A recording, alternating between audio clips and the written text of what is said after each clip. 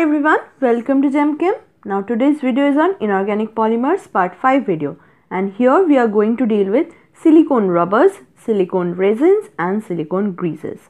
Now before starting, already 4 videos are uploaded in channel. You can watch it. I will give the link in the description box as well as the i button present above this video. And if you are new to GemChem, do not forget to subscribe the channel and hit the bell icon for regular updates. Now let us start. Now in the previous video we have dealt with silicone oils and here we are going to deal with silicone rubbers. So silicones are classified into silicone rubbers. These are long chain polymers with effective cross-linking between the chains. And these are made by hydrolysis of R2SiCl2 or even R2SiSO4 followed by polymerization. So how this preparation is made we have already seen in the preparation video. That is most probably part 3 video. You can watch it. Next is that the R3SiO SiR3 that is siloxane is subsequently added to the reaction mixture to control the chain length of the polymer. And they contain cross-linking type silicones having SiO2 or zinc oxide as fillers and vulcanizers in form of dibenzoyl peroxide.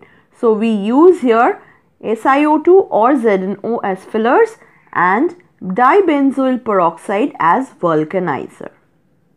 Now it can withstand the temperature up to 400 to 540 degrees Celsius in time scale 200 hours to 90 hours. Thus used as a material for sealing joints of heavy industrial gadgets. So far we have already seen that silicones can bear huge amount of temperature. So this is one of the most important advantages of silicone materials, right? Now we are going to see the preparation of these kinds of silicones that is silicone rubbers. Now the cross-linked of silicone is done when two linear silicones are linked to one another by a CH2-CH2 linkage. This is achieved by taking in same reaction mixture along with dialkyl dihydroxysilanol and a very small amount of dibenzoyl peroxide which is added after the certain amount of chain length is achieved. Now what is dibenzoyl peroxide? This part is important. Dibenzoyl peroxide is C6H5, C double bond O, oxygen, oxygen, C double bond O, C6H5. This is dibenzoyl peroxide, right?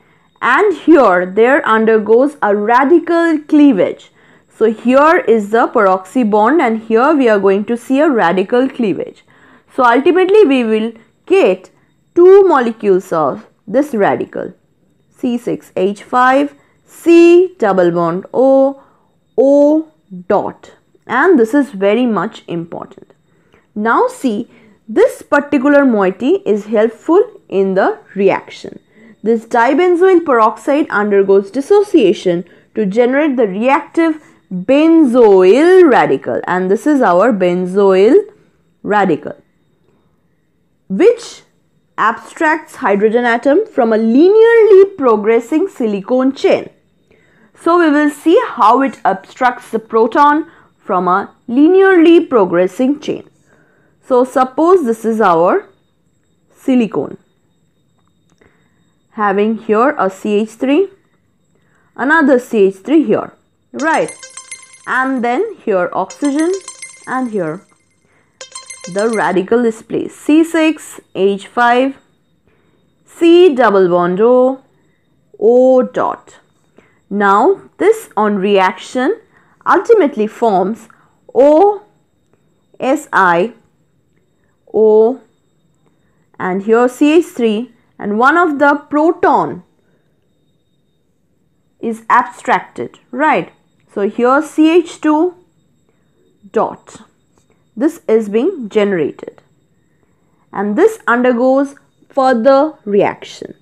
So if we have two molecules of this then what happens? two of them can combine form ultimately this type of moiety. That is here our chain continues. Here we have oxygen, silicon, oxygen and here CH3. Here is our CH2, CH2, another silicon from another molecule, oxygen, oxygen. Here the molecule continues and here is our CH3 in the down portion.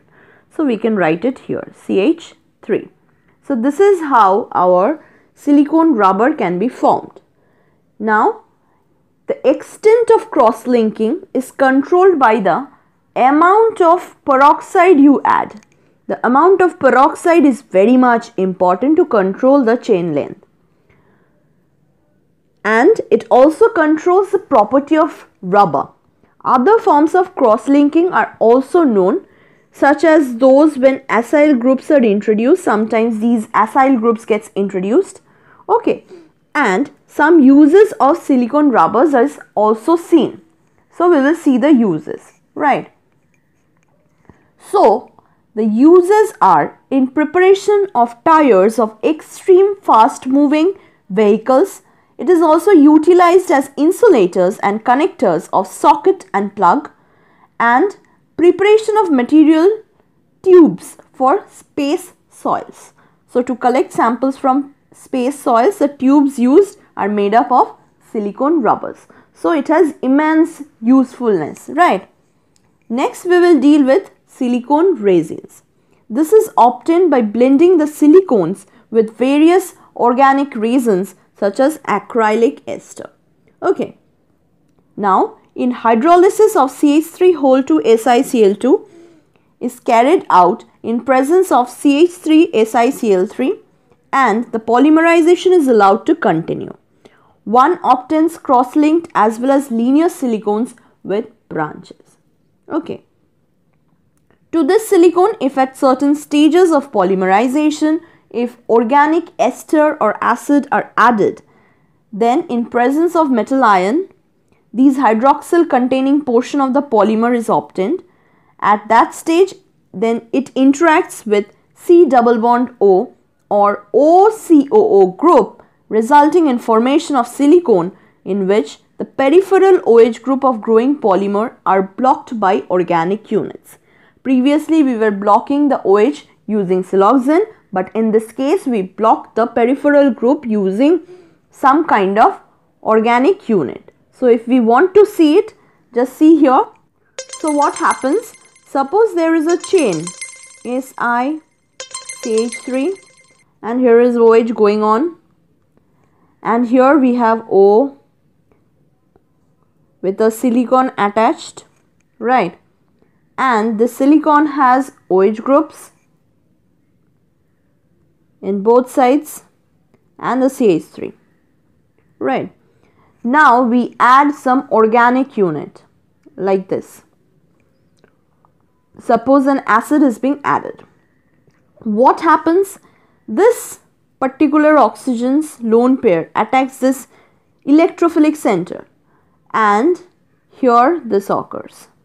This comes back and OH goes away.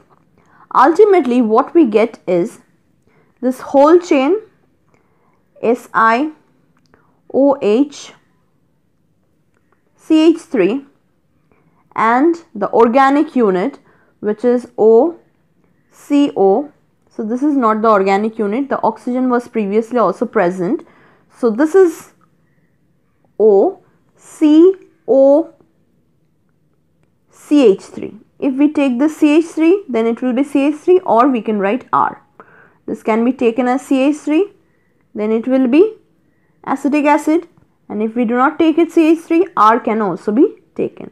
So this is how we generate silicone resins.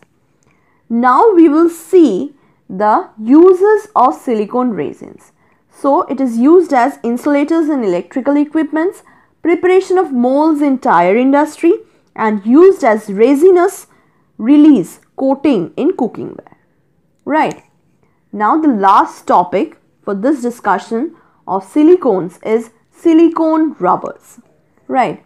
This is made by adding carbon black, soaps or finely dispersed SiO2 to silicone oils. And we have already seen the preparation of silicone oils in the previous video, right?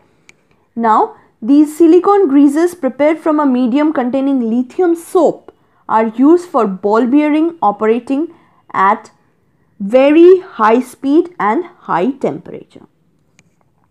Now, they are Vaseline-like and are lubricants in aeroplanes since they do not solidify at temperature as low as minus 40 degrees Celsius and do not melt at temperature as high as 200 degrees Celsius. So they are low temperature tolerant as well as high temperature tolerant. So they are so much important in different industries. Right. So here we end the topic of silicones and from the next video of inorganic polymers we will see boron nitrogen compounds specifically inorganic graphite known as borazine. So hope this was helpful. Thank you for watching. Do not forget to like, share, subscribe and comment.